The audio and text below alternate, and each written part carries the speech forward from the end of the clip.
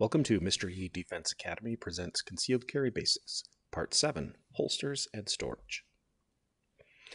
There's several different types of holsters, uh, inside the waistband or IWB, outside the waistband, OWB, belly band, ankle, shoulder, small of the back, fanny pack or purse carry, or pockets, pocket holsters.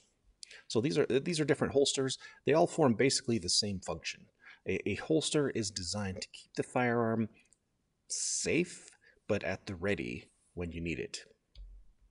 So inside the waistband, there are various different types of inside the waistband holsters, and really the type of holster that you want, it's personal preference, and it depends partly on the purpose. If the purpose is for concealed carry, inside the waistband is a pretty popular choice. Um, recently, a lot of people have chosen what's called an appendix carry type of inside the waistband. As you can see in this image right here, that's what it is. Basically, the, the firearm is, is holstered in the front part, what we call the 12 o'clock position. And uh, in the appendix carry there, that's what that's called. You also get like the 3 o'clock position. There's various, like I said, various types of inside the waistband holsters. Outside the waistband, uh, this is where, for example, duty holsters would happen. So kind of like this one right here, you can see there's a, a special extra strap that's going to hold it in place, make it harder for someone to take it from you. When you're open carrying a firearm, it, you typically will use an outside the waistband holster. And for competition shooting, outside the waistband is what most people will use as well. Uh, you can use an outside the waistband for concealed carry. You can see in this image right up here, uh, but it requires a cover garment that will that will fully cover the holstered firearm.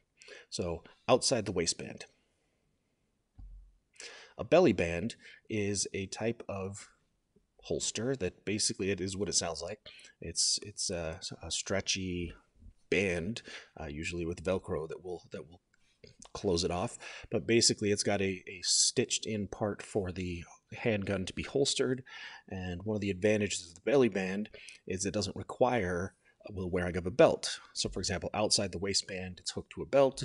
Inside the waistband, it also hooks to a belt. The belly band uh, basically provides its own belt. So, you could wear a belly band holster with even gym shorts that really don't have any need for a belt or anything like that.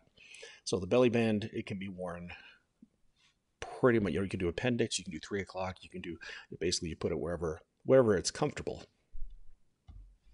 Ankle holster is what it sounds like. Uh, it's a holster at the ankle, and it's covered uh, then with the pant leg. There are various types of ankle holsters.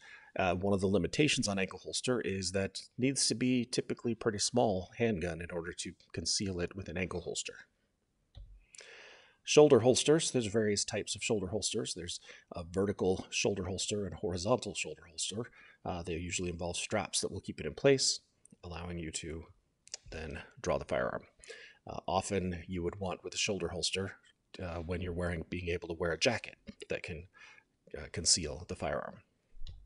Small back is a holster that's it's it's a type of outside the waistband, but it goes behind you. Now, lately, this particular type of carry uh, has been discouraged because if you fall backwards and land on your firearm like this, it can actually injure your spine right there in the in the smaller back position. But some people find it uh, the most comfortable position. So as long as you're careful, uh, that's an option. Fanny pack or purse carry, uh, again, basically it's what it sounds like. It's it's holstered in a fanny pack. Now, this isn't just a loose firearm in any random fanny pack. These particular fanny packs have built-in holsters that are designed specifically to holster a firearm. You don't want to put just a loose firearm in a purse or a fanny pack that's not designed for it. You can, in fact, if you want, use a pocket holster. And again, you never put a gun in your pocket without a pocket holster to cover the trigger. Uh, but if you put put your gun in a pocket holster, you can then put it into a regular purse or a fanny pack. That's the, the main thing is you want that trigger guard covered. And so the built-in holster of these fanny packs uh, protects that and, and makes it safer. And a pocket holster, the same thing. Before I just stick a gun in my pocket, I would make sure it's in a pocket holster and then placed in the pocket. Now, some safe concealment considerations. A firearm should always be in a holster or a gun case. If the firearm is in view of the public, care should be taken so that it is only accessible to the permit holder. So if you're going to open carry, make sure that it's got an extra layer of protection so that someone can't just reach up behind you and grab it. A handgun should not just be thrown into a glove box, under the seat of the car, or into a drawer. The permit holder is responsible for their firearm at all times, and you can, you know, replace gun owner with permit holder. Okay, but the, the gun owner is responsible for their firearm at all times. Now, safe storage of firearms and ammunition. Firearms should be stored unloaded. Now, storage is when the firearm is not available for immediate use. Storage is different from staging, where if I have a firearm, uh, say for home defense, and I have it staged, it's still secure, but it can be stored loaded because that firearm is actually in use, even though I'm not actively using it at the time. So it's important to keep that keep that in mind. Recommendation is that firearms and ammunition be stored separately. Some storage options include safes, locked cases, safe proofing devices, the need for safety does not end just because you do not have the firearm with you. Methods of childproofing do not store the firearm where it's visible and make sure the storage area is not accessible to children. Keep it locked up, keep it safe at all times. So, storing versus staging. So, firearms should be stored unloaded.